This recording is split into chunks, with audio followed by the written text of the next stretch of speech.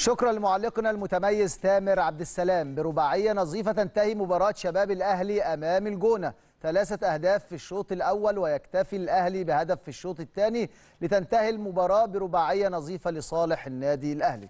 افتتح التسجيل للنادي الأهلي في الدقيقة الثامنة من بداية اللقاء في الشوط الأول. اللاعب عبد الرحمن شريف مهاجم النادي الأهلي في الدقيقة الثامنة يفتتح التسجيل للنادي الأهلي.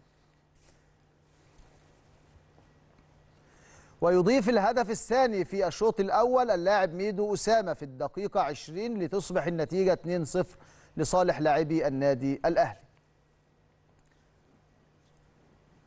وفي الدقيقة 37 يضيف أحمد أشرف أحد نجوم اللقاء الهدف الثالث للنادي الأهلي في الشوط الأول لتصبح النتيجة 3-0 ويكتفي الأهلي بالهدف الوحيد في الشوط الثاني وتصبح رباعية نظيفة من تسديدة أكثر من رائعة للبديل علي نادر أحد نجوم اللقاء لتنتهي مباراة الأهلي أمام الجونة برباعية نظيفة لصالح شباب الأهلي.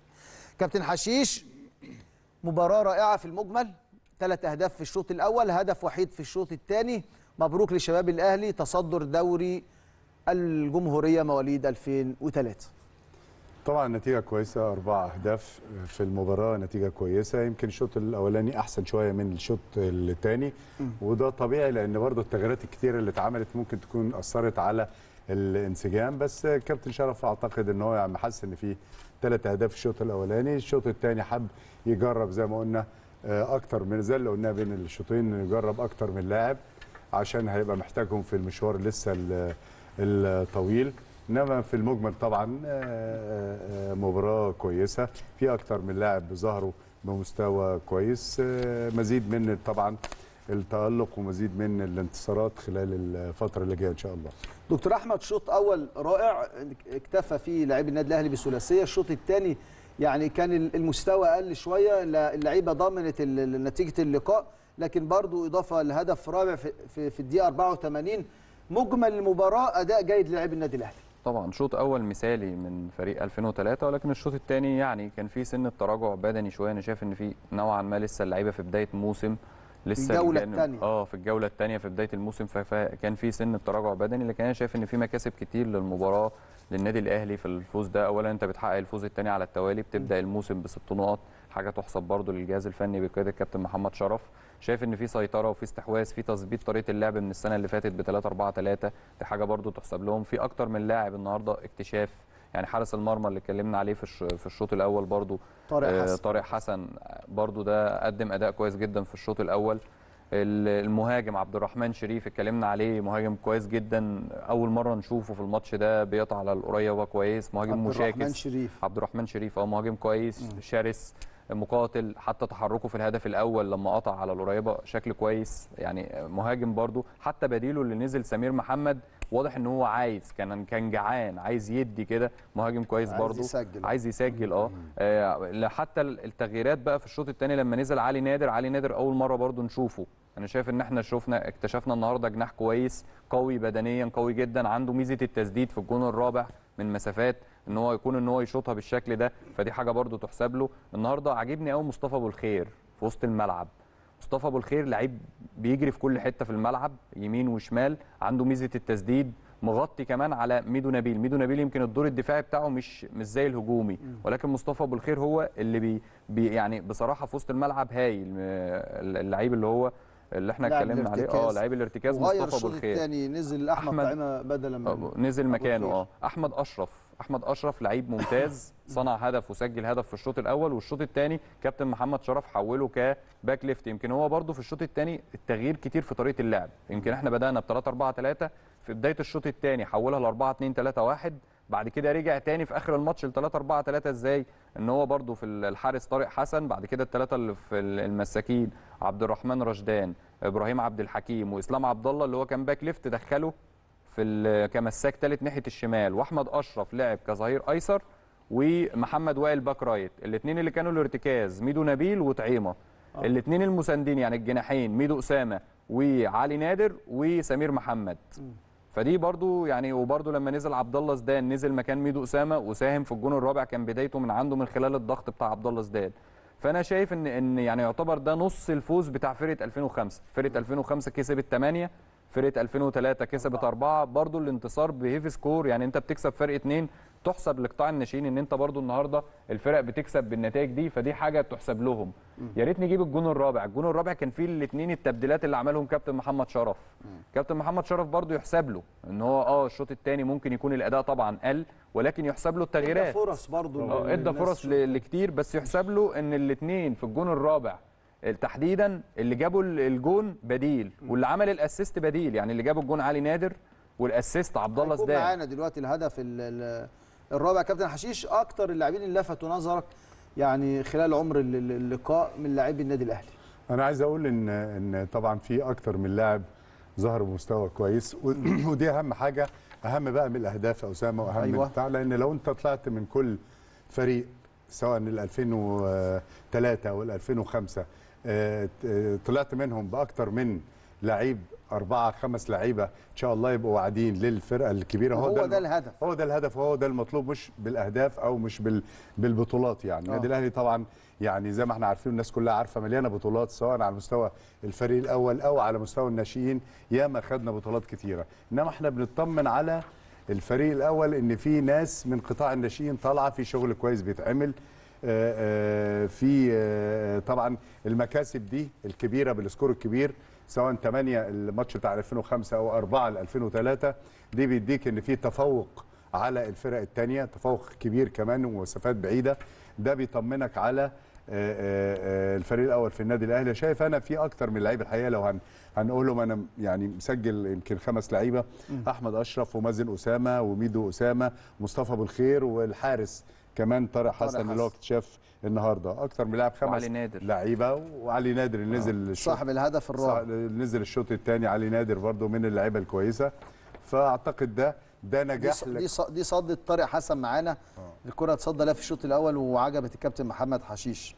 يعني دي يا كابتن آه، حشيش بص مفاجأة طبعا ومن بعيد و طبعا إن هو متيقظ طبعا وفي وسط كده أنت عارف الهدوء آه. تيجي شوطة يعني والصدة لطارق التانية حسن. برضو وفي واحدة على فكرة كانت من ناحية ال- الشمال وطلعها بقبضة إيده آه. برضو كانت وسط الزحمة بداية كانت في بداية. قريب من. مصطفى شوبير شوية آه. لسه بقول لك يا أحمد آه، صح ستايله قريب نفس ونفس بتاعته ال- حتى. لما كنا بنحلل هنا في الناشئين كان نفس النطة بتاعت مصطفى شوبير والإيد العكسية بالظبط بالظبط قريب. منه. حتى في ال- الأرضي آه. في الرجل بيلعب برجله الشمال زيه طيب تعالوا نروح بقى لمراسلنا محمد توفيق من أرض المباراة ولقاءات ما بعد المباراة تحياتي ليك يا توفيق تحيات كابتن محمد حشيش وأيضا الدكتور أحمد ثابت اتفضل مساء الخير كابتن أسامة. تحياتي لحضرتك كابتن محمد حشيش دكتور أحمد ثابت وكل مشاهدي قناه النادي الأهلي في كل مكان. مبروك ثلاث نقاط جديدة لفريق النادي الأهلي. مواليد 2003 يستقر بهم على قمة صدارة المجموعة وقمة الدوري العام أو قمة دوري الجمهورية. مواليد 2003 بعد الفوز طبعا في المباراة الأولى أمام بلدية المحلة بهدف مقابل شيء. والنهاردة أداء ولا أروع والفوز على الجونة بأربع أهداف مقابل شيء. معانا عقب المباراة كابتن محمد شرف المدير الفني للفريق. كابتن محمد يعني ألف مبروك الفوز استمرار لأدائكم القوي ومجموعة مميزة جدا من اللاعبين والفوز 4-0 النهارده على فريق قوي زي الجون. الحمد لله طبعا نحمد ربنا على الأداء وعلى النتيجة. وده استكمالا لل- للمشوار اللي هم ابتدوا يمكن إحنا من السنة اللي فاتت بعد ما حصلنا على البطولة كان في تعليمات من كابتن الخطيبي إن إحنا نستمر آه، في التدريبات وخدنا أفضل عناصر من 2003 و2005 و2006 اشتغلنا فترة الأجازة كلها كنا بنتمرن وكانت يعني خدت ثمارها إن زعلوق ومعتز مع كريم الدبيسي ورأفت ومخلوف مع الفريق الأول. ف يعني إحنا مستمرين. يعني يمكن حاولنا ندي راحات متقطعة للعيبة. يعني اللي بياخد أسبوع كده كده كنا شغالين لكن حاولنا نوزع الراحات عليهم. الحمد لله إن إحنا دخلنا في فورمة المطوشه بدري ودي حاجة أنا كنت مستني بعد ثالث أو رابع ماتش نبتدي نخش في الفورمة. آه، النهارده الحمد لله الأداء آه، يعني راضي عنه طبعا. النتيجه كمان الاجوان بتخلي ال- الأداء أحسن لكن يمكن ماتش البلدية ويمكن أنا يعني كان أدائنا أحسن من النهارده ضيعنا فرص كتير. النهارده كنا مأكدين على ال target إن أنا أجيب جون هو ده الأهم. إحنا بنلعب لعب كويس وبنحضر وبنستحوذ عشان في هدف إن إحنا لازم نوصل لجون آه، إن شاء الله بإذن الله يكون موسم خير و ويعني الحاجة الأهم اللي أنا طبعا بعاني منها في مع السن ده آه، حتة إن هو عايز يلعب درجة أولى إن هو جاي لهم كلهم إعارات للدوري الممتاز. لكن إحنا اتفقنا على حاجة ان انت طول ما انت كويس هيبقى في فرصة في الدرجة الأولى هيبقى الاعارات بتاعتك بدل ما هو نادي مثلا من الكاتيجوري اللي تحت هيبقى نادي أفضل. فأعمل اللي عليك وأنا شايف إن هم كلهم مركزين الحمد لله. وبدليل إن بقى لنا ماتشين الاداء فترات كبيرة جدا آه، أداء كويس سواء هجومي أو دفاعي. وجود أكثر من عنصر زي ما حضرتك قلت يا كابتن محمد في الفريق الأول ده شايف إن هو بيساعدك في تحفيز الولاد إن هم بيبذلوا أقصى مجهود عندهم الفترة دي؟ أكيد طبعا يعني هو كان قريب منهم وكان بيلعب معانا السنة اللي فاتت يعني شقيوا معانا كتير آه، رأفت وكريم الدبيسي ومصطفى مخلوف لعب الموسم كامل معانا وسماره إن هو بقى في الدرجة الأولى. زعلوه خد معانا الفترة الأخيرة وكان بيأدي بشكل كويس آه، كان مصاب ودخل معانا اتمرن. كل دي بتديهم إن الدنيا قريبة إن أنا أقدر أكون في وسط المجموعة. وهي يعني أنا أنا دايما بقول إن هي كلها بتبقى تدابير ربنا سبحانه وتعالى. أنت اعمل اللي عليك وربنا سبحانه وتعالى هيديها لك في الوقت اللي شايف إن أنت لكن دايما أعمل اللي عليا. أتمرن كويس أجتهد آخد كل مباراة بجدية. يعني أنا يمكن اللي بسطني إن إحنا لآخر دقيقة بنحاول. آه، برضو الفورمة أنا ما أقدرش يعني أدوس إن إن إحنا لسه الفورمة بعيدة فورمة المطوشه آه، لكن إن شاء الله جاي. فهو برضو تفكيرهم مشتت. أنا ما بين ماتش وما بين إن أنا عايز أروح منتخب والأولمبي والدرجة الأولى. وفي رغي من وكلاء وأندية وفي فاكسات مبعوثة آه، ليهم. لكن في الآخر برضو إحنا مزنوقين في حتة السبع لعيبة الاعراض بس. فدي طبعا بتبقى داخل فيها طبعا الفريق الأول مستر كولر. مين اللي هيطلع اعراض ف اعمل اللي عليك وممكن في يناير أو في السنة الجاية أو ممكن أنت تلاقي نفسك في الدرجة الأولى. فبيبقى الكلام نفسي أكتر ما هو كورة وأكتر ما هو لأن أنت عارف السن ده خلاص هو ده مستقبله عايز يعرف هو فين. فإن شاء الله بإذن الله قريبة. وفي الآخر أنا بقول لهم إن دايما إحنا كلنا أسباب كنادي كمدربين ك... كلنا أسباب إن ربنا سبحانه وتعالى يديك حقك. الحمد لله وإن شاء الله موسم خير علينا ومبسوط قوي بيكم النهارده. إذاعة المباراة بقى عشان قناة النادي الأهلي يمكن النهارده اللعيبة كلها كانت متفاجئة قبل المباراة إن المباراة مذاعه ده أعتقد كان مخلي كمان يعني إذاعة المباراة على شاشه قناة النادي الأهلي بيديهم حافز زيادة كمان. أكيد طبعا يعني آه، حاجة جميلة جدا ان يشوفوا الأداء وإن هو يتشاف على قناة الأهلي وجمهور النادي الأهلي يشوف اللعيبة ويحفظ أساميهم. أنا من السنة اللي فاتت والناس بتقابلني بتكلمني على لعيبة بالاسم آه، أخبارهم إيه إحنا شايفين إن هم فدي حاجة طبعا آه، بتفتح لهم سوق كبير جدا. وبرضه بتعرف جمهور الأهلي اللعيبة اللي هي الصف الثاني اللي في ظهر الدرجة الأولى أخباره إيه والدنيا. فالحمد لله إن أدائهم ده بيفرح الجماهير. يعني بقول لهم إن الموضوع مش مقتصر على اللي حوالين الملعب لا ده ملايين الأهلاوية بيستنوا المطوشه بتاعتكم بيتفرجوا عليها وبتتعاد مرة واثنين وثلاثه ودي حاجة كويسة إن أنت لازم تأدي بشكل كويس لأن في الآخر آه، النادي الأهلي كبير وكل فرقة بتيجي بتطلع أقصى طاقة عندها. ما تفتكرش إن أنت الفرقة لما النتيجة بتفتح ولا لا ده بصعوبة جدا إن النتيجة تفتح أربع أهداف أو مضيع زيهم و... فده لازم تبقى انت اشرس واخد المواضيع بجدية. فمبسوط طبعا بيكم والكابتن أسامة والاستوديو كله. ودي حاجة طبعا حافز ليهم. هم بيبقوا مبسوطين جدا لما بيعرفوا حاجة زي كده. طمنا بقى أخيرا يا كابتن على المصابين وأهم الغيابات النهارده وخاصة المدافع محمد شرقي.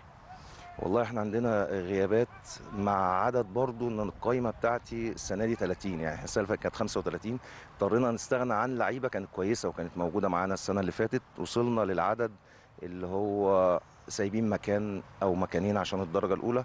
فأنا في دلوقتي متحمل معايا كريستو ورأفت وكريم الدبيسي ومصطفى مخلوف دول مع مع الفريق الأول. فإحنا دايما بنشتغل في 20 فمش مستحمل إن أنا حد يتصاب. عندي شرقية مصاب عندي كريم عثمان كابتن الفرقة آه، مصاب. آه، النهارده طعيمة راجع من إصابة. عندي عبد الله زدان اللعيبة الكويسة راجع برضو من إصابة. فإحنا بنحاول على قد ما نقدر إن إحنا نشتغل بال- باللي موجود. 20 لعيب 22 لعيب وإن شاء الله بإذن الله يعني موسم طويل وإن شاء الله بإذن الله يبعد عنهم شر الإصابات وإن شاء الله شرقية يبقى موجود من الماتش الجاي. كريم هو اللي مطول شوية بس. شكرا كابتن شباب ونتمنى دوام التوفيق بإذن الله. شكرا. كابتن أسامة مكملين لقاءاتنا ومن ضمننا نجوم فريق 2003 بالنادي الأهلي واحد النهارده من اللاعبين اللي اجادوا وصاحب الهدف الأول عبد الرحمن شريف. عبد الرحمن يعني ألف مبروك الهدف ألف مبروك الأداء. والنهاردة يمكن كابتن شرف مديك واثق فيكم مديك الثقة. والنهاردة أنت كنت عند حسن ظن. طبعا في الأول آه، برحب بكابتن أسامة حسني وكل الكباتن اللي في الاستوديو. آه، طبعا آه، يعني آه، كابتن شرف اداني الثقة وأنا إن شاء الله دايما هبقى قد الثقة. وبوعد جمهور النادي الأهلي الموسم دوت آه، البطولة 2003 يعني إن شاء الله. عبد الرحمن وجود لعيبه من زمايلك في الفريق الأول ده الحافز الفترة دي كابتن شرف بيتكلم معاكم في إيه؟ بيحفزكم إزاي؟ يعني كلمنا عن كل الحاجات دي. آه طبعا كل واحد نفسه يلعب في الفريق الأول. كل واحد مستني فرصته يعني كل واحد بيعمل اللي عليه. وربنا يعني ال... بيسيب الباقي على ربنا يعني. شكرا عبد الرحمن بالتوفيق دايما بإذن الله. مكملين لقاءاتنا كابتن أسامة وصاحب الهدف الرابع وهدف أكثر من رائع يعني علي نادر يعني علي ألف مبروك الهدف ألف مبروك الأداء. كلمنا عن مباراة النهارده اداء أكثر من رائع وكمان المباراة اللي فاتت أمام بلديه المحل اولا برحب بال- بالكباتن اللي في الاستوديو. والحمد لله الماتش آه، فت- اتفتح يعني من الأول جبنا جون ورا الثاني ورا الثالث فأول شوط خلص 3-0 الحمد لله قمت أنا نازل و... وقمت جايب جون فالحمد لله ربنا كرمني أهم تعليمات كابتن شرف وبيتكلم معاكم في إيه في الفترة دي؟ آه، كفرقة طبعا آه، بيشجعنا دايما قبل الماتشات قبل الماتشات وقبل الماتش بيوم دايما بن بنشتغل على التكتيك وشخصيا أصلا دايما بيكلمني قبل ما أنزل بيقول لي العب لعبك ومالكش أي ضغط. فالحمد لله بيحفزني طبعا قبل كل ماتش. الحوافز والتحفيز والفريق الأول شايف إن مستر كولر بسم الله ما شاء الله يعني بيدي فرصة كبيرة جدا لعدد كبير جدا من القطاع. الحافز ده بيبقى شكله عامل إزاي؟ عليكم ومردوده على الأداء. يعني آه، الواحد بيعمل اللي عليه وبيتوكل على الله. آه، وفي الأول في الآخر النتائج هي اللي بتسمع فوق. والواحد يعني بالأرقام دايما يعني اللعيبة كلها اللي طلعت كلها تستحق إنها تطلع. وفي إن شاء الله ناس آه، أكتر بإذن الله هتثبت وجودها وهتطلع برضه. فإن شاء الله ربنا يكرمنا. شكرا علي ودايما موافق بإذن الله. ختام لقاء. من نجوم الفريق كابتن دايما الفريق الأول كتير جدا ميدو نبيل. يعني ميدو ألف مبروك النهارده على الفوز والأداء الرائع. كلمنا بقى عن أدائك وأداء زمايلك خاصة إنك واحد من الناس أقدم الناس في الفرقة وناس يعني شافتك كتير جدا مع الفريق الأول الفترة اللي فاتت. آه، الحمد لله على المكسب. آه، أنا برحب بالكابتن أسامة الضيف اللي معاه آه، مكسب مهم بالنسبة لنا. يعني تاني ماتش النهارده بثلاث نقط.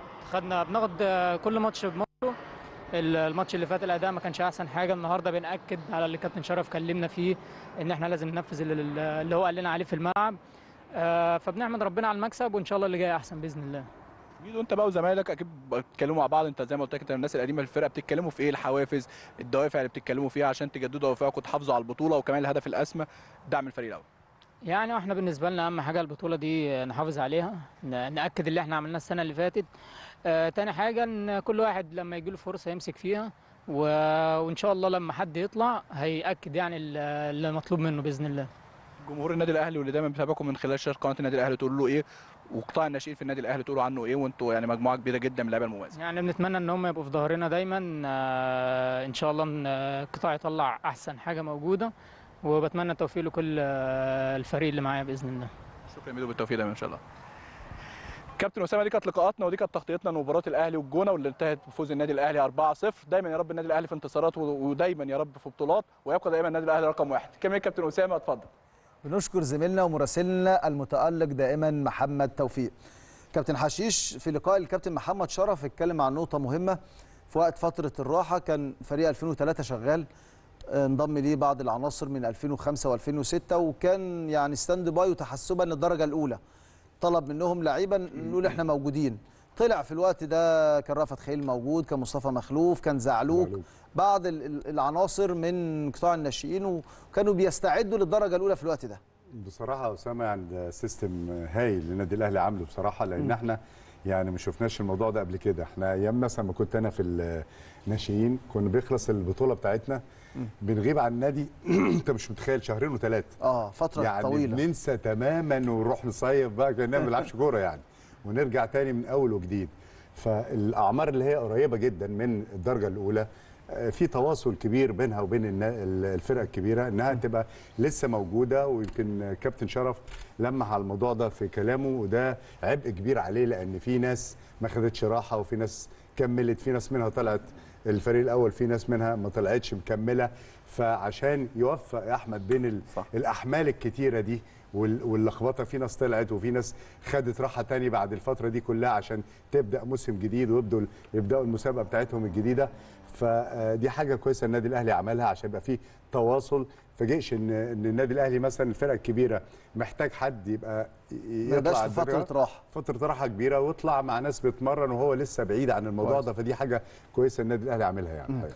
آه، دكتور أحمد برضو من كلام الكابتن محمد شرف اتكلم عن النقطة النفسية مع اللاعبين قال إحنا في فترة دلوقتي اللعيب عايز يطلع درجة أولى في بعض اللاعبين زمايلهم طلعوا الدرجة الأولى في البعض جاي له إعارات آه، مطلوبين من أندية أخرى في الدوري الممتاز. تفكير اللاعبين حتة المعاملة النفسية للولد في السن ده وأيضا كمان فايدة إذاعة ال- المباريات على الهواء مباشرة. النهارده أنت بتعرض بقى كل لعيب بيعرض نفسه بيقول أنا موجود سواء للجهاز الفني في الفريق الأول أو سواء للأندية الأخرى كمان. طبعا دي بتبقى نقطة أنا شايفها صعبة جدا على أي جهاز فني اللي بيمسك فرقة 2003 عامل زي بالظبط اللي هو في الفريق الأول وبيتعامل مع البودلة. دلوقتي أنت بتتعامل مع فرقة كلها نجوم وقاعدة على الدكة. فأنت إزاي هتقنعهم ان لا انت فرصتك هتيجي؟ لا انت لأن النادي الأهلي بيبقى فيه أكتر من لاعب في نفس المركز. يعني ثلاثة مهاجمين ثلاثة مثلا أجنحة. فانت إزاي بتقنعهم؟ برضو موجودة في فرقة 2003 النهارده في بعض اللعيبة اتصعدت وفي بعض اللعيبة لا. لأن طبعا بيبقى على حسب رؤية الجهاز الفني مارسيل كولر. هو اللي شايف إن أنا محتاج اللاعب ده في المكان الفلاني. فانت إزاي تقنع اللاعب ده وإن أنت تشتغل على نفسك؟ إن أنت ممكن تطور من نفسك أكتر عشان تبدأ إن أنت تعمل بداية موسم مع فريق 2003 بشكل كويس. كمان نقطة إذاعة الماتشات دي نقطة مهمة جدا. ممكن لعيب يروح فريق في الممتاز يعني يروح فرق بدون ذكر الأسماء يعني ما يتشافش زي ما هيتشاف على قناة الأهلي في الدوري الناشئين. يعني فرقة 2003 النهارده لما بتذاع لها ماتشات بيشوفها كام مليون واحد. عكس مثلا فرقة في الممتاز آه، مثلا في المركز 12 ال 13 ال 14 مش هتتشاف زي ما بتتشاف على على قناة. الأهلي. ودي نسب واحصائيات مباريات في الدوري الممتاز. اتكلم على الدوري الممتاز الدوري آه. العام عندك. مباريات الناشئين على قناة النادي الأهلي بتعمل نسب مشاهدة أكبر من مباريات دوري ممتاز بتتلعب. ليه؟ عشان اسم الأهلي وقناة الأهلي ولو الناس بتحب تتفرج على أي حاجة فيها مرتبطة باسم النادي الأهلي. وعايزة تشوف مستقبل النادي الأهلي. طبعا. إحنا النهارده بعض الناس كانت تقعد تشكك في قطاع الناشئين تقول انت ما النادي الأهلي ما فيهوش قطاع ناشئين طب ما تعالى نتكلم بالأرقام. ما تشوف مصطفى شوبير محمد عبد المنعم آه أحمد. عبد القادر كان مصطفى محمد مخلوف. أشرف مصطفى مخلوف دي كلها كريم عناصر الدبيس، الدبيس، خليل. رأفت خليل قطاع ناشئين النادي الأهلي. آه، كزعلوك زعلوك. يعني عناصر كتيرة ولاعيبه كتير بدأت تطلع الدرجة محمد هاني. فرص مح... أنا بتكلم بقى على الأجيال السابقة آه. محمد الشناوي ومحمد محمد هاني عبد المنعم. بتكلم على تاريخ النادي آه، الاهلي آه. لكن أنا بتكلم عن الوقت الحالي ما دي كلها لعيبة طلعت خلال السنتين ثلاثة اللي فاتوا من قطاع الناشئين للدرجة الأولى. فده إحنا بنتكلم. طيب النقطة الثانية عايز أقول حاجة برضه. يعني اكد برضه على كلام شرف يعني. آه موضوع كمان الوكلاء آه. وكلاء اللاعبين وبيلعبوا في دماغ اللعيبة اللي هي الصغيرة دي. واللعيب آه اللي ب 2003 و2005 اللي حاسس إن طبعا الدنيا مقفلة فوق واللعيبة كتير فوق وهيطلع إمتى وبتاع مع إغراءات بقى الوكلاء والفلوس عايز يطلعوا اعاره هنا وطلعوا اعاره هنا غير برضو زمان الأول ما كانش فيه وكلاء اللعيبة ولا كلام من ده. دلوقتي العملية صعبة بقى على المدير الفني بتاعه إن هو يقنعه إزاي إن فرصتك هتيجي برغم إن في مراكز مليانة فوق إنما الكورة ما فيهاش صعب باجتهادك وإخلاصك وإنك تظهر نفسك وتفرض نفسك على الفرقة الكبيرة آه، آه، لازم تتمرن كويس ولازم تدوس في المباريات. فدي صعبة قوي. فيعني شرف الحياة دي مش باينة طبعا في الأعمار اللي هي الصغيرة. آه، لسه بدري. لسه قدامك وقت. لسه بدري. إنما بداية بقى من 2005 و2003 هي دي العملية الصعبة يعني. دكتور أحمد كابتن شرف برضو اتكلم عن الغيابات اللي عنده. قال طبعا كريستو واخد عنده مكان في فريق 2003 ومتسجل في 2003 عندك محمد رأفت عندك مصطفى مخلوف كان زعلوك كان بعض اللاعبين لكن عامل توليفة جيده طبعا. عامل توليفة جيده قبل ما أسمع رأيك في النقطة دي يعني اعتدنا دايما في مباريات ال- ال- الأشبال استاد الأشبال. دايما معانا ال- ال- ال- يعني الخبير التحكيمي الكبير الكابتن ناصر عباس علشان دايما بنقيم الحكام. في مباراة 2005 أمام بلدية المحلة المباراة السابقة أجاد بطاقم ال- التحكيم. النهارده طبعا كان حكم ساحة. العنصر النسائي كان موجود الكابتن نوره سمير. دي يعني آه، من منطقة القاهرة. مساعد أول الكابتن أسامة السيد ومساعد تاني الكابتن أحمد زيدان. معانا على التليفون دلوقتي الخبير التحكيمي كابتن ناصر عباس عشان نسمع برضو رأيه في طاقم التحكيم اليوم. تحياتي ليك يا كابتن ناصر. تحياتي الكابتن محمد حشيش والدكتور أحمد سابق. تحياتي ليك كابتن أسامة وتحياتي لضيوفك الكرام كابتن حسيش والدكتور أحمد ثابت منورين الاستوديو كالعادة. استوديو جميل وحلو وقاعدين بنتفرج وبنستمتع بيكم بأمانة يعني. آه، مبروك النادي الأهلي على الأداء والنتيجة وهارد لك لنادي آه، الجونة. آه، كابتن أسامة هنتكلم الأول بشكل عام على الحكمة نورا سمير. وإحنا طبعا إحنا الأول يعني بنحدد بشكل عام وعندنا الحالات التحكيمية اللي هي هنقولها من خلال المباراه. آه، اولا أنا يعني اولا بحييها النهارده بأمانة على آه، الأداء بشكل عام. آه، شفنا كابتن اسامه حاجة مهمة جدا وهتكلم على الشخصية التحكيمية. لاحظنا إن هي عندها جدية وعندها اهتمام كبير قوي وتركيز في المباراة. وده دايما إحنا بنقوله للحكام اللي هم الرجال النهارده هي أدت آه، بشكل جيد من خلال التح... الشخصية التحكيمية. آه، نروح لنقطة مهمة واللياقة البدنية كابتن حشيش كابتن دكتور أحمد على مدار شوطي اللقاء هي اولا هي آه، آه، آه، لعبت ألعاب قوة قبل كده كابتن مم. وشفنا قد إيه عندها تحمل عام كويس قوي من بداية المباراة من ناحيتها. عندي بس نقطة للتطوير وزي ما قلنا إحنا في قناة النادي الأهلي النهارده ما بنقولش سلبيات إحنا بنقول الإيجابيات وبنقول نقاط التطوير يا كابتن أسامة. تمام. يجب إن هي تطور تطور من أدائها لما يكون في هجوم معاكس أو الهجمة المرتدة. هنا لابد إن هي يعني تتوقع وتبتدي تتحرك ما تستناش اللعبة تتلعب وبعدين تبتدي تجري لأن هنا تبقى يعني أحيانا في بعض الحالات تبقى بعيدة آه، بعض الشيء ولكن بشكل عام اللياقة البدنية النهارده كانت آه، موجودة بشكل آه، كويس. النقطة بقى المهمة وهي تقدير المخالفات يا كابتن أسامة مم. وإحنا هنا بنتكلم هناك بعض الإيجابيات ليها حسبت بعض المخالفات وأيضا خلت اللعب يتواصل في بعض الحالات ولكن عندها بعض الحالات اللي هي المخالفات كان يجب أن تحتسب وأيضا العقوبات الانضباطيه النهارده تقريبا آه، لابد إن هي تخلي بالها آه، وده مهم جدا تتدرب على آه، إمتى أدي إنذار وإمتى ما أديش إنذار وإمتى أحسب المخالفة فقط. أسامة السيد النهارده وكان مساعد ممتاز النهارده حكم من الحكام المساعدين الممتاز القاهره الكبار يعني عاوز أقول النهارده أدى بشكل كويس خاصة في الهدف تقريبا الثاني. وأيضا أحمد زلال النهارده كان من القاهرة ادى مباراة آه، كويسة وتعاون بالقرار في أكثر من حاجة.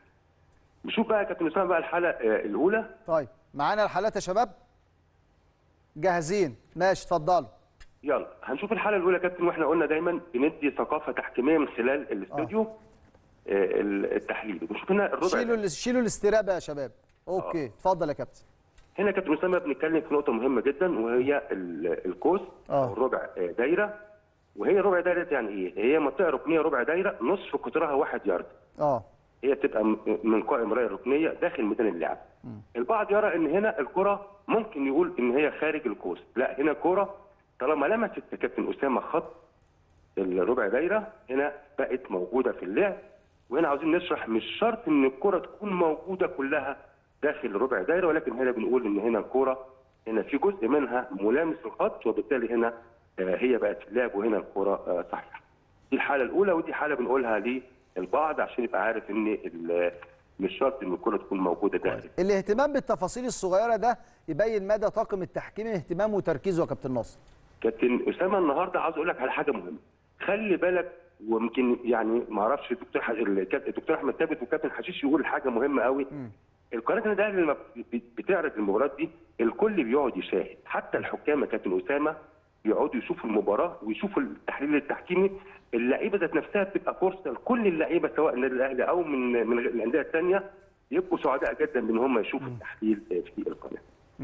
آه، نروح للحالة الثانية يا كابتن أسامة ونشوف آه، لو الحالة الثانية معانا تقريبا. آه الحالة ال- الثانية الهدف الهدف الثاني للنادي الأهلي. هنا الكرة آه، باللاعب النادي الأهلي هنا بيرجع وعاوزين نشوف هنا هل في تسلل عند المساعد أسامة السيد ولا لأ. آه. هنلاحظ هنا كابتن أسامة هنا الكرة هنا لما بترتد من المدافع آه. وترجع تاني للاعب بيلعبها النادي الأهلي بال- بالرأس. هنا اللاعب النادي الأهلي في موقف سليم ومتغطي بيه اثنين لعيبه اللي هو لاعب رقم خمسة واللاعب رقم 21 وتمركز المساعد فوق ممتاز الممتاز كابتن أسامة. آه. ممتاز. وهنا الهدف هدف صحيح. نتيجة ال- التركيز من الحكم المساعد ولحظة الربط ما بين لعب الكرة وموقف التسلل يا كابتن اسامه آه. هدف صحيح للاعب النادي الأهلي وبالتالي هنا الحالة الثالثة معانا يا كابتن ناصر. الحالة الثالثة كده هنا يمكن أنا بقول لها يا نورة في حاجة مهمة قوي هنا الرجل مرفوعه باينه قوي آه.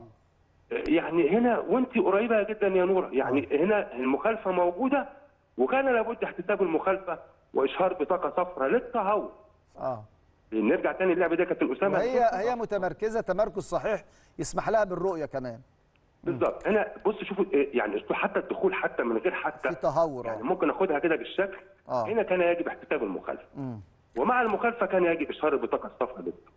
دي برضك إحنا بنقول يمكن حالات عدت وبتعدي على أحيانا بعض الحكام. ولكن بقول لها يا نور أنت كنت قريبة. ولكن ما يجب إن الفاول ده يعدي عليك في الحالة اللي بعد كده كابتن أسامة نشوفها. آه. حاله من الحالات المهمة. نفس الشيء يا كابتن أسامة شوف هنا. تهور. تستوجب بطاقة دي كمان. التهور موجود. آه. بص هنا بص بص بص اللي هنا يعني دي حالة برضك. هي نفس الحالة اللي فاتت. عشان كده بنقول إيه؟ خلي بالك يا نورة من كابتن ناصر الك- الكرة دي هي بعيدة شوية عن الكورة. تمام يا كابتن حشيش. يعني بص هي فين بص, بص إيه؟ هي فين آه. دلوقتي؟ آه. عندها بعض الحالات اللي كان يجب إن هي يبقى عندها قراءه يعني. آه، هنا كان لابد آه، من الحكم المساعد. أحمد زيدان يساعد بالقرار يا يا يا كابتن حشيش حامل آه مساعد آه. المساعد أحمد زيدان هو مساعد رقم اثنين هنا آه. لابد إن هو يساعد بالقرار آه. لأن هي المخالفة قريبة منه. هنا المخالفة موجودة بتهور وللأسف هي لم تحتسب المخالفة ولم تشهر البطاقة الصفراء للحكم آه، الحالة اللي بعد كده كابتن اسامه ونشوفها آه. آه، حالة من الحالات المهمة جدا. شوف هنا آه، يعني آه، كان في حالة مهمة جدا وعاوزين نشوف هنا هل هنا في مش دي الحالة يا شباب الكابتن هي ناصر؟ بتاعت الدقيقة 65 في حالات تانية عندنا؟ بتاعت ركلة الجزاء. آه أنا عندي حالة لا هم بيقولوا لي دي آخر حالة يا كابتن ناصر. طب أخيرا يا كابتن ناصر ممكن نشوف العنصر النسائي السنة دي بيحكم في الدوري الممتاز؟ يكون عندنا حكمة ساحه في مباريات الدوري الممتاز ولا لسه الخطوة دي يعني محتاجة عندنا شوية؟ آه، هو بالفعل كابتن اسامه آه، آه، في الجولة 34 مم. آه، من الدوري الممتاز اللي هي كانت من الموسم ال- ال- اللي فات. آه، عندنا كان شاهندة المغربي كانت موجودة أدارت لقاء آه، إنبي وسيراميكا أيوه. في الجولة في الجولة 34 على فكرة وأدت مباراة كويسة جدا جدا. آه آه، عندنا آه، شاهندة وعندنا يارا عاطف وعندنا أيضا نوره سمير. نتمنى طبعا هي النهارده نوره النهارده بتقدم أداء كويس. وفرصة للمحكمات أو الحكمات زمايلها إن هم النهارده تديهم الثقة ولجنه الحكام النهارده لابد إن إحنا كابتن أسامة النهارده آه، يدوا المحكمات فرصة عشان نشوف كمان محكماتنا في البطولات اللي هي الأفريقية إن شاء الله. طاقم التحكيم النهارده كام من 10 يا كابتن ناصر؟ آه الأداء الأداء يعني لازم يا كابتن أسامة ندي درجة؟ آه عايزين درجة على الهوا. طيب أنا حكام بقول حكام القاهرة يا كابتن ناصر خلي بالك حكام القاهرة دول. حشيش طبعا أكيد أكيد حكام القاهرة طبعا يعني كابتن القاهرة مليانة بالحكام المتميزين وغير المناطق طبعا مناطق كثيره موجودة. آه، بدي النهارده نورة سميرة كابتن أسامة آه. على شجاعتها وشخصيتها التحكيمية آه، بديها 8.5 ودي يعني درجة كبيرة جدا جدا طبعا. درجة آه. كبيرة من كابتن ناصر. آه درجة كبيرة جدا. وزي ما قلت هي عندها حاجات تفاصيل صغيرة هتشتغل عليها اللي هي المخالفات وتقدير العقوبات الانضباطيه وإحنا بنشكرك. آه اتفضل يا كابتن. انت- أسامة السيد امتياز النهارده وأحمد زيدان. النهارده تعاونوا بالقرار. بدي أسامة تسعة وبدي أحمد زيدان آه، تسعة. وإحنا بنشكرك شكرا جزيلا. ودايما بتمتعنا كالعادة الخبير التحكيمي كابتن ناصر عباس. آه عايزين نستعرض بقى الأهداف. عايزين نستعرض الأربع أهداف عشان نحللها مع ضيوف الكابتن محمد حشيش والدكتور أحمد ثابت وعايزين ناخد كمان برضو يعني رجل اللقاء بعد ما نحل الأهداف مع بعض. الهدف الأول من الأهداف الحلوة يا كابتن حشيش في الدقيقة 8 عبد الرحمن شريف واحد من المهاجمين المتميزين قطع على العارضه الأولى وده الهدف الأولاني معانا. اتفضل. طبعا فيها لعب جماعي هات وخد وإحنا قلنا أحسن ما في الهدف إن هو برضو إيه الرأس الحربة غط مغطي طبعا هو لوحده. آه. آه. فمغطي الزوايا كلها سواء البعيدة أو القريبة قطع القريبة وحط الهدف وده هدف طبعا كويس يعني. الهدف الثاني هدف اللاعب ميدو أسامة الدكتور أحمد ثابت. آه طبعا. الهدف الثاني كانت عرضية من اليمين أهي بتتلعب الكره الثانية وأهمية الكرة الثانية. النهارده أحمد أشرف هو اللي كسب الكرة الثانية اللي عمل ال assist. آه. وميدو أسامة. ميدو أسامة ممتاز في ال finish بتاعه. يعني ال finish بتاعه شفناه في أكتر من مباراة. بيكتم الكرة بشكل كويس وبيركز دايما في اللمسة الأخيرة. عنده لمسة أخيرة كويسة في حتة اللمسة الأخيرة يعني. آه. بص هنا في الفينش في الزاوية البعيدة بشكل ممتاز أرضية. برضو نفس يعني كانت فاكر كان جون برضو في نهاية الموسم اللي فات كان جابه بنفس الشكل بس كان من الناحية الثانية آه. فال finish بتاعه ممتاز يعني. الهدف الثالث هدف اللاعب أحمد أشرف واحد من نجوم اللقاء. كابتن حشيش كرة طبعا عرضية استغل طبعا إنها كرة راجعة من ال defense. يا دوبك توقيفة وسندة وحطها بشماله طبعا على طول وده قرار طبعا شوط يعني. الهدف الرابع في الشوط الثاني في الدقيقة 84 اللاعب علي نادر دكتور أحمد ثابت. هنا الكرة اتقطعت قطعها عبد الله زيدان هو اللي عامل assist والشوطة والتوجيه بوش الرجل في الزاوية الضيقة بتاعه الحارس المرمى على القدم الثابتة للحارس. صحيح. قرار التصويب يا أحمد. قرار التصويب والدقة. والدقة. والقوة. القرار والدقة والقوة والتوقيت بتاع الشوط. كل ده بصراحة علي نادر هو يعتبر الشوط الثاني كان أحسن واحد في الشوط الثاني طب الهدف الأحلى دكتور أحمد ثابت في الأربع أهداف. الهدف الأول لأن نعم. الهدف الأول لو جبناه في نقطة بس فيه كمان نقطة إن أصلا ميدو أسامة بيلعب ناحية ال- الشمال آه. وجه عليه أحمد أشرف. أحمد أشرف بيلعب ناحية اليمين ففي زيادة عددية عملوا تحميل عددي على الجنب. أهو بص وقف هنا. التحميل العددي اللي اتعمل وال1 2 وال overlap بتاع ال back left آه. عمل بالعرض والقطع على القائم القريب من المهاجم. فأنا شايف إن في جماعية في زيادة عددية في الجنب الشمال في قطع على القائم القريب من مهاجم متميز زي عبد الرحمن شريف و finish كويس وقتال وفي روح على الكوره في قتال قتال على الكوره فأنا شايف الجون الأول أحلى هدف. كابتن حشيش؟ أنا برضو بقول الهدف الثاني لأن آه، أنا معانا. متحيز شوية لميدو أسامة لأنه ابني بقى من منتخب القاهرة. آه. فهي التوسيعه اللي وسع لنفسه دي أنا متأكد لأن هو كان وشه للكورة وفي ظهره الجون. لو كان استلم الكورة كان ال- المساك لحقه إنما هو يوسع لنفسه راح خلاص جون. كابتن حشيش رجل اللقاء. والله في أكتر من واحد يا أسامة عشان من يعني من يعني متحيز لحد معين. في أحمد أشرف كويس آه. مازن أسامة ميدو أسامة آه، مصطفى بالخير آه، طارق حسن برضه واعد يعني. الكور اللي جات له الحقيقة كان تصرف فيها كويس ما فيش غلطة يعني. علي نادر طبعا ما نزل الشوط الثاني. حلو أنت كده قلت الفرقة كلها. أنا قلت عايز- الفرقة كلها عايز. لاعب واحد بس. رجل اللقاء. ميدو أسامة. ميدو أسامة رجل اللقاء من وجهة نظر كابتن محمد حشيش. من وجهة نظر الدكتور أحمد ثابت؟ أنا شايف أحمد أشرف رقم واحد رقم اتنين مصطفى أبو الخير. أختار اتنين. اشمعنى بقى ليه ما إيه؟ إحنا اشمعنى بقى؟ ماشيين ماشيين اشمعنى كويس؟ بقى؟ ماشي. حد لأحمد أشرف. أحمد أشرف أحرز هدف وصنع آه، هدف صحيح. تمام. أو الراي ولا؟ آه، اتفضل. طبعا. أنت كل مرة لازم تقول رأيك. أنا طبعاً. رأيي رجل اللقاء الكابتن محمد شرف. أيوة، محمد صحيح، شرف حقيقي. رغم الغيابات اللي عنده حقيقي. خلال فترة ال- الراحة راجل شغال خلال الفترة دي رغم الغيابات اللي عنده عامل توليفة جيدة بيقدر يكسب المباراة الثانية على التوالي وعامل شكل وأداء جيد. فإحنا بنقول آه اللعيبة لكن النهارده برضو دور الجهاز الفني كاملا ودور الكابتن محمد شرف مهم جدا. بنبارك لهم. وإن شاء الله خلال المباريات اللي جاية أيضا هنذيع مباريات تاني ل 2003 ومزيد من ال- التألق. فرصة وإحنا موجودين مع حضراتكم على الهوا. ما ينفعش يعني عندنا مباراة مهمة يوم 15 9 يوم الجمعة القادم. مباراة ببطولة مباراة ال- ال- السوبر الأفريقي. مباراة مهمة أمام آه، اتحاد العاصمة الجزائري. طبعا زي ما إحنا عارفين إن النادي الأهلي هو بطل دوري أبطال أفريقيا. اتحاد العاصمة الجزائري هو بطل كأس الكونفدرالية. المباراة هتكون في مدينة الطائف في ملعب آه، مدينة الملك فهد. لو معانا صورة ال- ال- الملعب عايزين نستعرضها برضو يا شباب. يعني الملعب من الملاعب الجيدة. دي صورة الملعب اللي هتقام عليه المباراة مباراة الأهلي أمام اتحاد العاصمة السوبر الأفريقي. الملعب ده بيسع إلى 20 ألف متفرج. وبيدير اللقاء الحكم الجابوني بيير أتشو. يعني بيير أتشو هو حكم اللقاء الجابوني هو اللي هيدير لقاء الأهلي أمام اتحاد العاصمة الج- الجزائري. والمباراة هتكون إن شاء الله الساعة التاسعة في توقيت القاهرة بتوقيت القاهرة.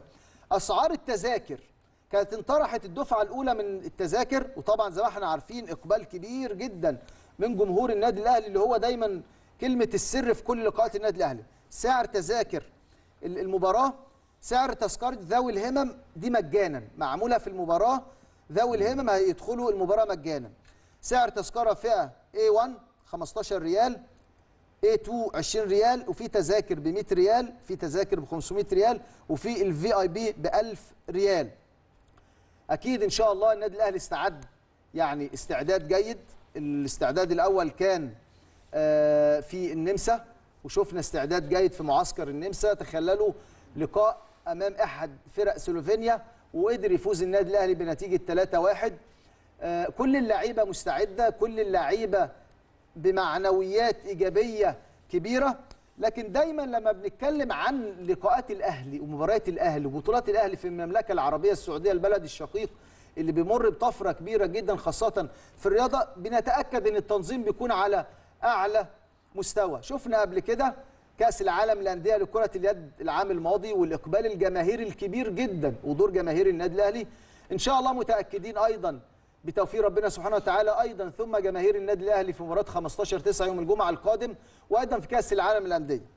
معانا على التليفون دلوقتي الأستاذ محمد شريف رئيس رابطة مشجعي الأهلي في المملكة العربية السعودية.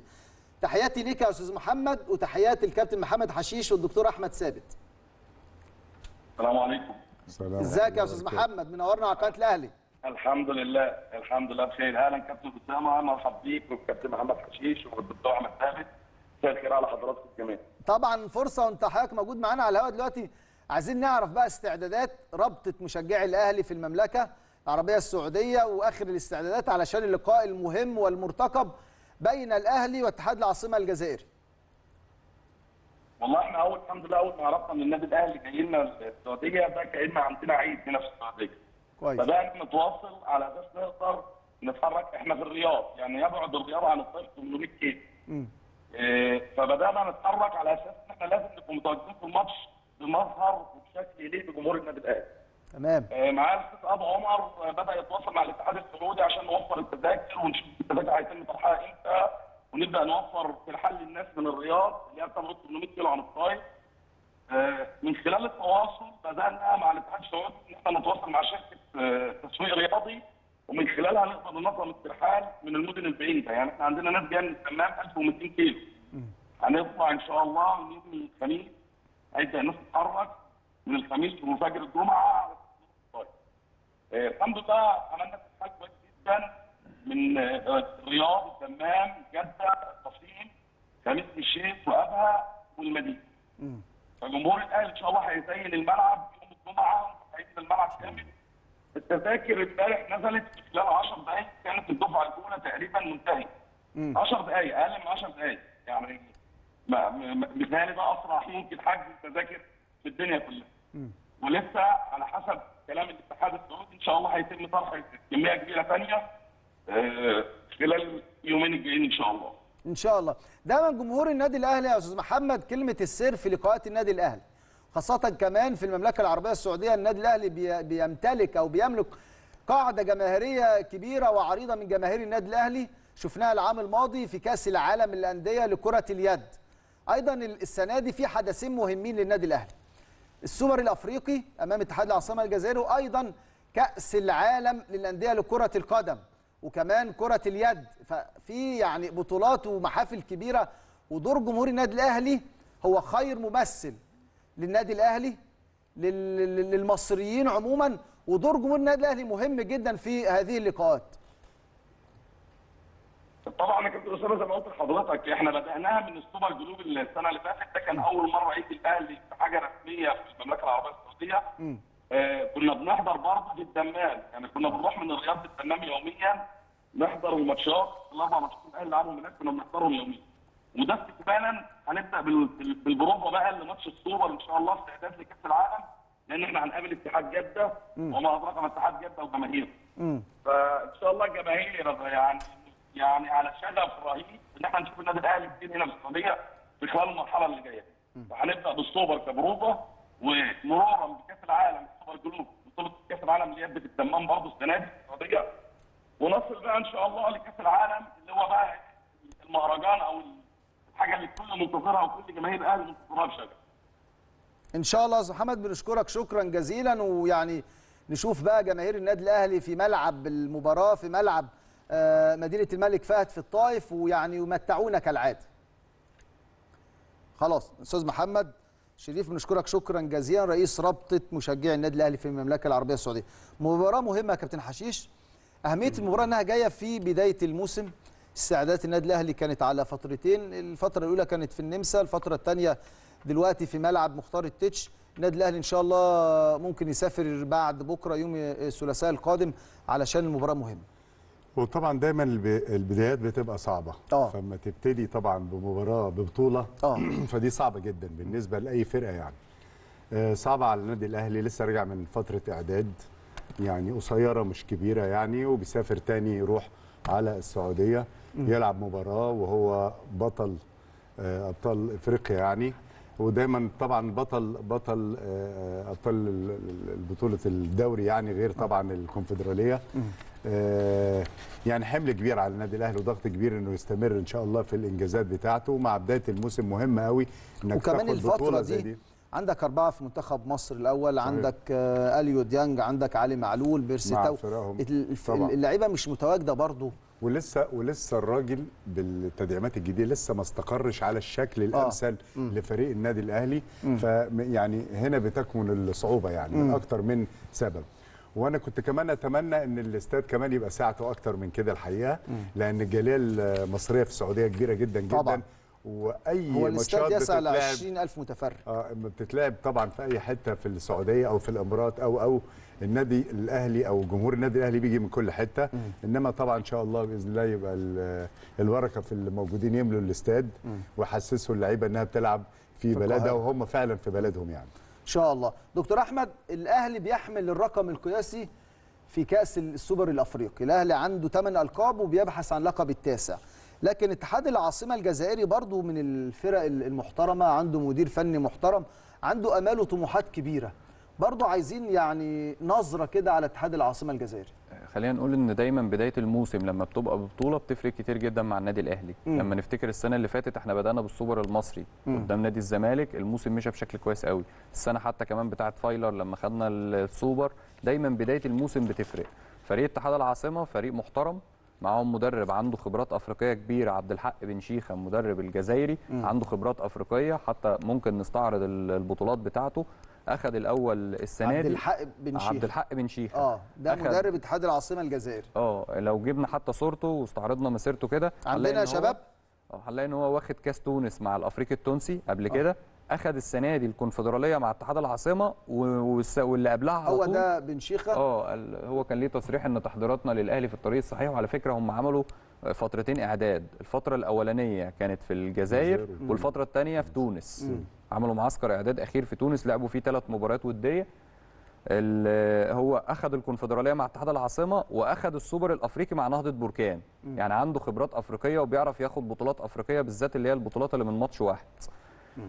دي. بطولات آه، بن شيخة آه، المدير مدرب اتحاد العاصمة. اتحاد العاصمة الجزائري. اخذ ال- الدوري الجزائري مع شباب بلوزداد مرتين اخذ ال- الكأس المغرب كمان مع الدفاع الحسني الجديدي. لو تلاحظ اشتغل في تونس واشتغل في المغرب واشتغل في الجزائر. عنده خبرات في درب. الافريقي الافريقي آه. التونسي وخد آه. بيهم بطولة الدوري آه فواحد من المدربين ال- المتمرسين لازم نخلي بالنا من يعني إذا المواجهه مش هتكون سهلة آه طبعاً. حتى خارج الخطوط كمان بس طبعا الفريق النادي الأهلي أعلى فنيا خلينا برضو نكون النادي الأهلي أعلى فنيا بكتير النادي الأهلي مستعد بشكل كويس جدا عامل معسكر إعداد محترم جدا عاملين صفقات تقيلة خبرات تقيل آه النادي. الأهلي ماشي في الطريق كويس جدا ولكن خلينا أقول لحضرتك إن ال- الاتحاد العاصمة مشى من عنده ثلاث لعيبة مؤثرين. مم.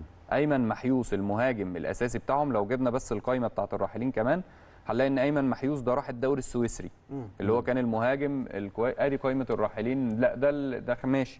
خليك في دي دي قائمه اللعيبة اللي بت في في واحدة زيها بالظبط اللي هي القائمه الثانية طيب خلينا في اللعيبة اللي تم التدعيم بيها اللعيبة اللي تم التدعيم بيها هم جابوا 12 لاعب قدامنا على الشاشة اهم آخر 12 اتنين. لاعب السنة دي. آه آخر اتنين. آه. لو 12 صفقة جديدة جابوها. آخر اتنين لو بصينا عليهم رقم 11 اللي هو كوناتي من مالي عنده 25 سنة ده صانع ألعاب جاي من استاد مالي آه. اللي هو آخر لاعب ده كوناتي رقم آخر- 11 آه. آه. وكانوا اللي هو ال- اللي جاي من دجوليبا المالي ده برضه راس حربة عنده 22 سنة جاي من دجوليبا المالي. يعني جابوا من استاد مالي ومن دجوليبا المالي. اتنين لعيبة من مالي.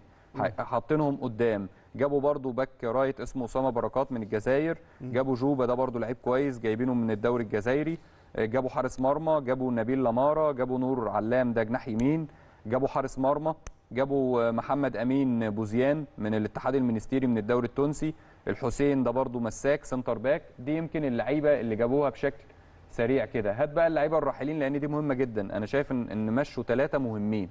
أيمن محيوس المهاجم الأساسي بتاعهم كان مهاجم مسمع كان هو وفيستون مايلي.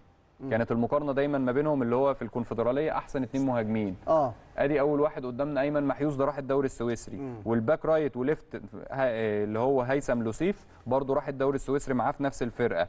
مرباح اللي هو اللعيب اللي في وسط الملعب ده راح شباب قسطنطينة في الدوري الجزائري. دول كانوا أحسن ثلاثة مشهم في الفرقة فأعتقد ان إن الراحلين برضه ممكن تفرق معاهم ولكن هم دعموا ب 2 مليون بس إذن برضه ال- التدعيم الكتير ده برضه يا اسامه ممكن تدي برضه لسه لعيبة لأول مرة. 12 واحد يجوا تدعيمات جديدة بدل ومشوا اللي مشوا. 14 فممكن تدي نوع من انواع عدم النهارده خلاصة القول يا كابتن حشيش النهارده المواجهة لأهلي أمام اتحاد العاصمة الجزائري مش هتكون مباراة سهلة. لا لا سواء طبعاً. خارج. الخطوط كولر مع بن شيخة اثنين مدربين كبار وأيضا داخل الملعب.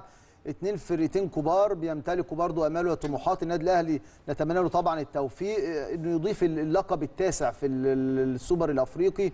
ويعني زي ما الدكتور أحمد ثابت قال يعني آه، بطولة في بداية الموسم. طبعاً. بتدي دفعة كبيرة للجهاز الفني وللاعبين وإن شاء الله توفيق ربنا ثم جمهور النادي الأهلي في ملعب المباراة. النقطة الأخيرة قبل ما ننهي حلقتنا النهارده كنت عايز أتكلم عنها وعايز أقف عندها شوية وآخد آراء يعني ضيوفي. طبعا في البداية بنبارك لمنتخب مصر الفوز في المباراة الأخيرة أمام آه، إثيوبيا 1-0 كانت المباراة مقامة في استاد أو ملعب الدفاع الجوي. ودي من ضمن ال- الأجندة الدولية. لكن استوقفني شيء. شكل الملعب وإحنا النهارده بنقول عايزين يبقى فيه التفاف حوالين منتخب مصر. النهارده دي يا جماعة مباراة لمنتخب مصر. تخيلوا لما كنا بنقول مباراة لمنتخب مصر كنا بنشوف التفاف شعبي وجماهيري في الشارع. كنا بنشوف الناس مستنية مباريات منتخب مصر بفارغ الصبر. الصورة دي وإحنا شايفين العدد الحضور الجماهيري لا يتجاوز 200 ولا 300 واحد أو 500 واحد. في الوقت اللي إحنا بنفتح فيه الملعب للحضور الجماهيري. تخيلوا ده شكل ملعب مباراة بيتلعب فيه مباراة لمنتخب مصر. فين الإقبال الجمهوري أو الجماهيري؟ لازم النهارده اتحاد الكره المصري يقف عند النقطه دي. من قبل كده في مباريات أيضا مهمه وكان بنقول خمسين ألف وبرضو العدد الجماهيري أو الحضور قليل. تعالوا نشوف في ملاعب أخرى واستادات أخرى برضو موجودة في الأجندة الدولية. دي مباراة تونس أمام بوتسوانا وتونس صعدت. شايفين عدد الحضور الجماهيري ورا لاعبي تونس قد إيه؟ ولو فتحنا الكادر هتلاقوا الاستاد مليان. المفاجأة بقى المفاجأة دي مباراة منتخب موزمبيق أمام بنين في ملعب موزمبيق وانتهت بفوز موزمبيق 3-2 شايفين العدد الجمهور أو الحضور الجماهيري قد إيه؟ قد إيه؟ شايفين موزمبيق الحضور الجماهيري مباراة موزمبيق أمام بنين في استاد موزمبيق حضور جماهيري بسعه الملعب. أيضا الجزائر الجزائر امام تنزانيا اللي انتهت بالتعادل السلبي 0-0 لو عندنا الصورة يا ريت يا شباب نعرضها.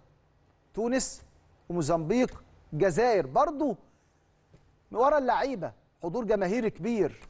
أنا واحد من الناس بزعل لما أشوف ملاعبنا وده منتخب مصر. شفنا منتخب مصر في 2006 و2008 و2010 والتفاف جماهيري كبير جدا. أتمنى من السادة القائمين في اتحاد الكرة المصري يدرسوا الحالة دي ويشوفوا ليه التراجع الجماهيري حصل وليه ما بقاش فيه إقبال على منت... على ماتشات منتخب مصر. مع إننا من هنا بنقول دايما منتخب مصر في المقام الأول منتخب مصر في المقام الأول. ودايما دي الرسالة بنوجهها لكل الأندية. يا ريت كمان الاعلام يناقش الموضوع ده إن ده موضوع مهم جدا. إزاي نربي النشء على إن مباريات منتخب مصر ليها الأهمية وليها الأفضلية. أنا واحد من الناس زعلت لما شفت الاستاد فاضي كده.